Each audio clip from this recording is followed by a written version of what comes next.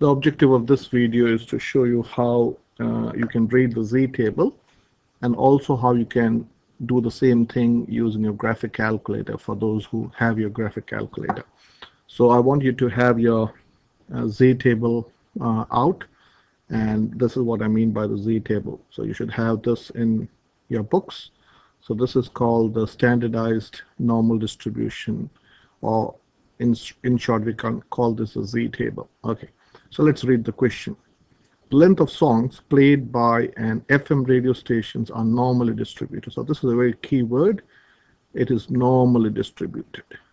Okay, with a mean of 3 minutes 10 seconds and a standard deviation of 10 seconds. So here, sorry, 15 seconds. So standard deviation is in seconds. So mean mu, this is this is this is the notation for mean. This is a Greek letter mu. Is three minutes, three minutes 15 seconds, 10 seconds. Sorry. So let's change this into seconds. So three minutes is how many seconds? One minute is 60 seconds, so 180.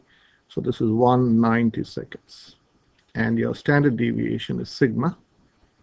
SD is standard deviation is 15 seconds. So everything is in seconds now. Okay.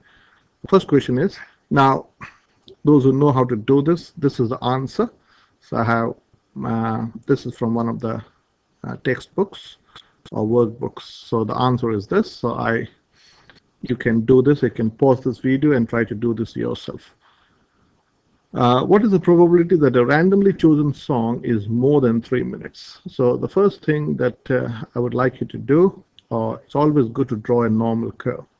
So this is your uh, your random variable. So on this is your normal curve. A normal curve is a normally distributed curve is a bell-shaped curve. So the mean always comes in the middle. The mean is 190 seconds. So let me write here, this is your x value. This is your random variable x, and I'm going to write the z value underneath it. So 190 seconds. So what's the question? It is more than three minutes. So three minutes is how many seconds? Is 180 seconds. So if this is we are everything writing in seconds, so this is 190 seconds. The question is, what is the probability that a randomly chosen song is more than three minutes? That means more than 180 seconds. So your 180, the line for 180 would come here. So this is 180 seconds here. So here, your z value, you should be knowing the formula for z. z is x, your random variable x minus mu over standard deviation.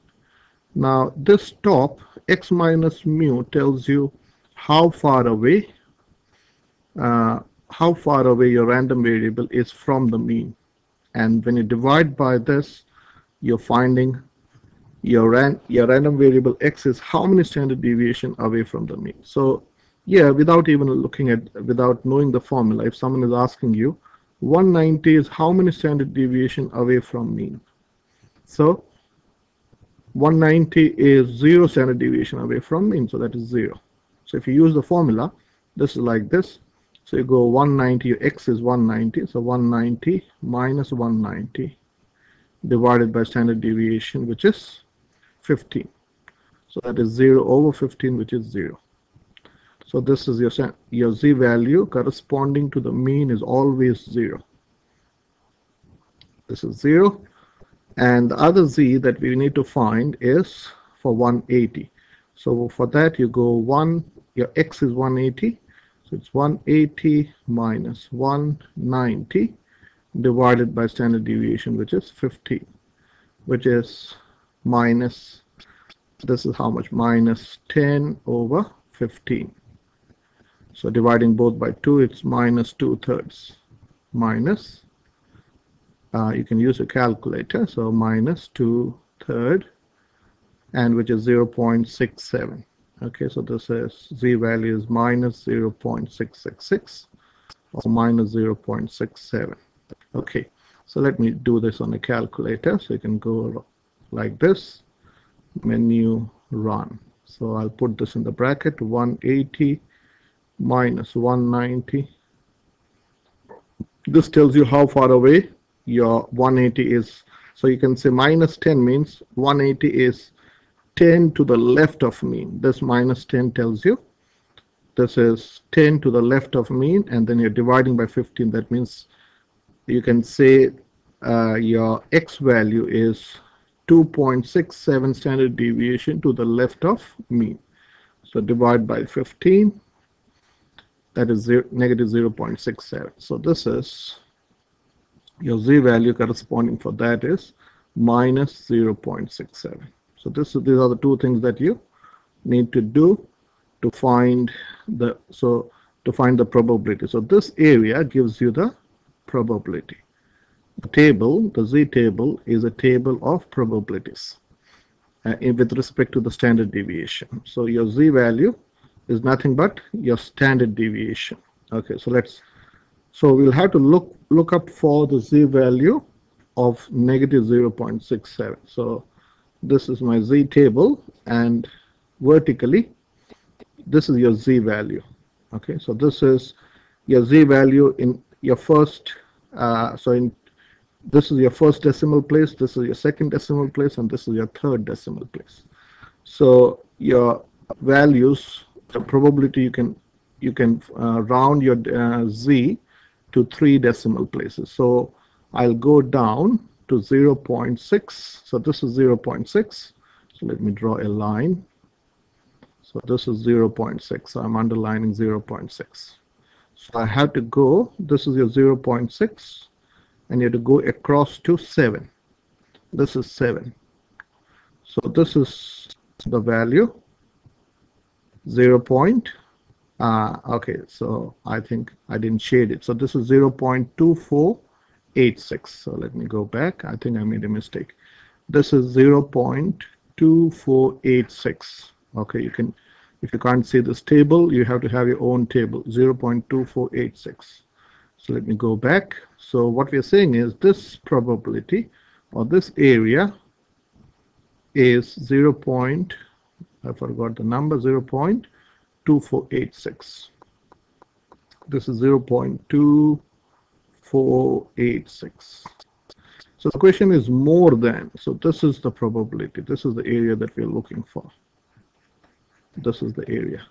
Okay so the table only gives you this area. It is between some value of sorry from 0 to some value of z. Negative or positive would be the same because it is symmetrical to both sides of mean. So this is 0.2486 and we already know the probability of a random variable to be over mean is 0.5. This is 0.5.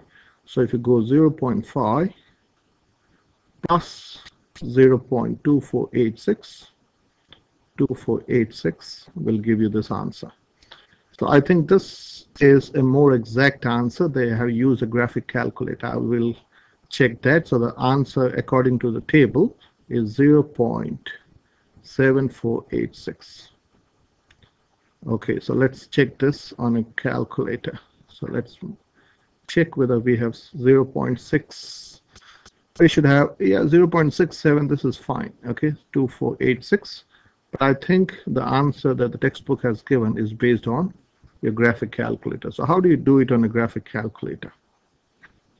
So this is uh, this is if you round it to three decimal places, it this is 0. Point, uh, 0 0.748. So that will be different because this is more exact. So let me show how you can do this on a graphic calculator. So the first thing that you do is you go to stats, then you go to F5, which is your distribution. I'm going very slowly. So get your calculators out. So this is F5, that is distribution. And then this is a normal distribution. This stands for normal distribution. And now you have to go for no normal cumulative distribution, F2. And then they're asking you what's your lower and what's your upper. So, so let me show you. So let's find this area because we already know this is 0.5. So your lower is 180 and the upper is how much? Upper is 190 this is a uh, standard deviation of 15 seconds. And your mu which is your mean is 190 seconds. And then uh, execute. 24 yeah so this is 2475 can you see? This is uh, the calculator is more exact 2475 and this is 2486 so the answer is fine. Both the answers are perfectly fine. So if you add 0.5 to this so then you can get 0.24 uh, 247 this is again not matching with this but doesn't matter. Both these answers are fine. Okay. Uh, I want you to do the next question if you can. The next question is the same probability uh, the same data mean is 190 and standard deviation of 15 uh, hopefully you've done this. The same question the first thing that you do is you draw the x coordinate or x-axis where this is where you're going to show your x and your z. Okay and uh, this is your normal curve. And your mean is 190 seconds this is 190 seconds so this is your x and I'm going to do this is your x values and this are your z values. So 2 minutes is 120 so 120 plus 58 which is 178 seconds. 178 seconds so less than less than one this is 190 seconds. So the question is what's the probability that a, a song chosen randomly is less than 178 seconds so 178 say comes here 178 so you want to find this probability. So the next thing that you always do is to shade the area that you want to find. Now to find this probability, the table is going to give us this probability. This area is what the table is going to give us. So to find this area, so let me do it like this. This area would be 0.5 minus, so let me do use a different color color coding. So this area, your green area would be 0.5 minus the brown area. Minus the brown area would give you this area. Okay, I hope you understand because uh, we know that 50% of your probabilities or 50% of the data is to the left of me. So we're going to use the table to find this area. So again, the same thing. We know this is 0 you want to find this value of z. So we know the formula of z. Z is x the random variable x minus mu over sigma so what's your random variable which is 178 take away 190 so I'm going to round this to three decimal places so that you know how to read the table over 15 in the last example I didn't round it I think that's why we got a different answer. So, uh, so let's use a calculator menu run. Uh, I'll put this in the bracket 178 take away 190 divided by 15. Okay, so this is a exact 0, 0 0.8, negative 0 0.8. So the z value does make sense. So this is negative 0 0.8. So this is negative 0.8. So we're going to look for the area corresponding to the z value of 0.8. Okay, so this z table again tells you the area between 0 to some positive value of z. So as this table or as this curve is symmetrical, a positive value of z or a negative value of z has the same area. So don't look at the negative we're only looking at the value z. So let me scroll this down. So this is your area. So let me erase this. So we are looking for 0.8 so this is your 0.8 and across to 0 so this is 0.2881 okay so this area this area is 0.2 2881 2881 okay so your probability I'm writing in short probability would be 0.5 take away 0.2881. We'll check this on a calculator. So where's my calculator? So, uh, so delete 0.5, take away 0.2881, which is exact 0.2119. So the answer we have checked is 2119. In my previous, uh, in the previous example, we rounded it to 1 dp. So if you had rounded it to 3 dp, we would have got an exact answer. Okay. So let's look at one more question. Between 3 minutes 19 seconds and 3 minutes 47 seconds. So first, let's change this into seconds. So this is 180. This is 180 plus 19, which is 199 seconds. And this is 180. This is 180 plus 47. So this is 180 plus 40 is 220. And this is 220, 227 seconds you want to find the probability that a randomly chosen song is between 199 and 227 seconds. So we have to find two values of z. Okay, so this is your normally distributed curve. Your mean is 190. This is 190 seconds. So this is your x value. And we want to find between 199. This is 199 seconds and this is 227 seconds 227 seconds so first let's find first find the z value so your z i'll call this z1 okay so this is say z, z, z sub naught z sub naught is 0 so z value corresponding to your mean is 0 so this is z call this sub sub naught so this is 0 so let's first z1 we'll have to find what is z1 and what is z2 so I would like you to do this yourself. So so z1 would be x minus mu over sigma. This is your formula. So your x your random variable is 199 take away 190 uh, 180 yeah divided by 15 okay so let's use a calculator. Uh, bracket.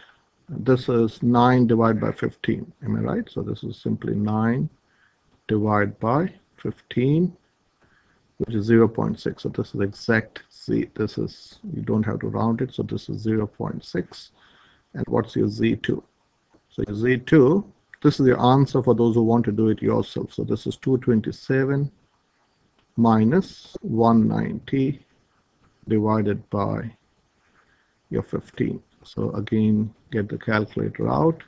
It's always good to do it uh, with a calculator because you don't do mistakes of addition and subtraction, which is not what is the focus here. So this is so this is a good. Uh, so I'm going to round it to 3 dp. So this is 2.467. I'll round it to because the z table you can read up to three decimal places. So it is 2.467. So let me write this. So this is 2.467.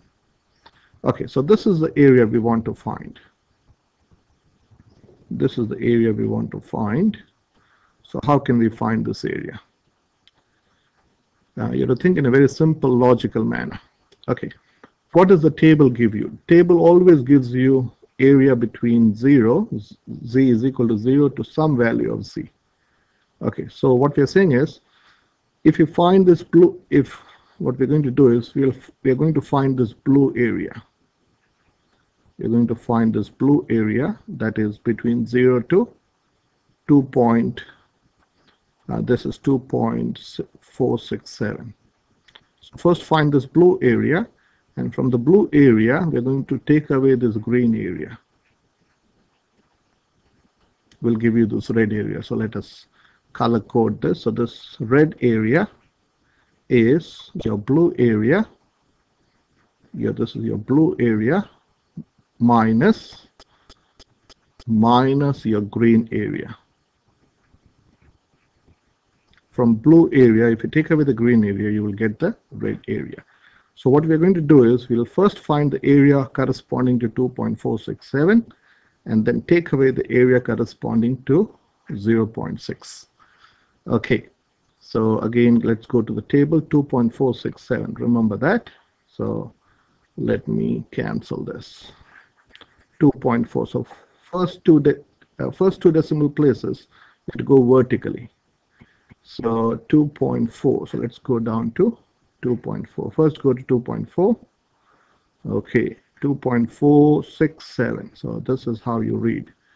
This is your 2.4. Okay, 2.4 and this is 6. Okay, I have to see both of them. This is your 6. So 2.46 is 0.4929 and 7 is this. You have to add this value. It's not making much of a difference. This is 1. So this this is how you read it. So I'll do it here so that you can see it. So this is 0 0.4929 4929 and to that you have to add 1 here. Okay, so this is so this is 0 0.4930. The probability is the probability or the area for the uh, z value of 2.467 is 0.4930. Okay, so let me go back. So the blue area, so let me do it in a cooler a color coding. This blue area is, let me go back, 0.49, 0.4930. So the blue area is 0.4930. And this green area, so let's write the green area. What's the green area? Is for the uh, for the value of 0.6. So this is 0 0.6. That is easy to read. This is 0 0.6. So it is 0.2258. So the green area or the area corresponding to the value of 0.6 is, I again forgot the number, 0.2258. Okay, 0.2258. 0.2258. So the probability that we need would be the blue area, which is 0.4930 take away 0.2258. We'll check this on a calculator. Okay, calculator will be more exact. So 0.4930 minus 0.2258, which is 0.2672. So let's check 0.2672. So it's almost right. 0.26. This is right. 2672. So how do you do this on a calculator? The cal if you have a graphic calculator, the graphic calculator does it for you. But this is a good way of learning because later on you'll have to do some examples you can't do without with the graphic calculator. You need to know how to read the z table. So this answer is quite near, is almost exact. Okay, 0.2674. So how to do this on a calculator again, go to stats menu. Okay, so you want to find between this and this. So again, distribution FI, normal, NCD. So lower is 199 and the upper is 227. It will directly give you the answer. Okay. So that's this is what this is how I think they've used the graphic calculator. So this is exact 0.2674. Okay. And finally, this question you can pause. Hopefully you're done this question. Uh, okay, one weekend, the radio station played 250 songs that were over 2 minutes, 45 seconds long. Estimate the number of songs that were played. Okay, so this is uh, a different type of question. So this is 2 minutes. So let me, let's first draw the normal curve. We know the data, the same information. Uh, okay, so first draw the normal curve. this is your normal curve and your mean is 190 so this is your x value and we want to find your z value. Okay so 2 minutes is 120 plus 45 seconds. So 165 seconds. So 165 comes here this is 165 seconds. Uh, over this is over 2 minutes 45 seconds. So this is this area. This is this area. So what we have to do is find this probability which is out of 1 okay this would be out of 1 so here we are saying uh, this is okay uh, the radio station played 250 songs that were over so this corresponds to 250 so this probability this probability corresponds to 250 songs so the question is how many songs were played so if you know this probability corresponds to 250, the total number of songs would be 1. Uh, the total probability of this of any distribution is 1. Okay, so let's first find this area. The table will give us this area. The table will give us this area. We already know this is 0.5. So first we have to find the z value. So your z value would be 165 minus 190 divided by 15. So let's get the calculator out, menu, run. So this is 165 minus 190 divided by 50 which is negative 1.667. Okay, I'm going to round this to 3 dp negative 1.667 this is 0 so first let's find this area. Uh, so the total probability first uh, first find the probability which corresponds to this and then we're going to find the total. Okay so first go to 1.667 okay so this is my table so let me delete this. So one first go to 1.6 okay so let me draw a line.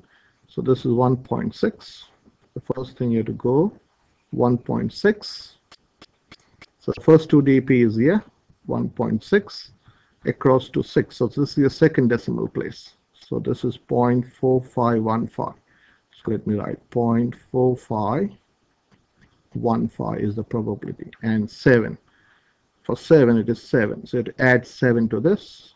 So this is point four five two two point four five two two.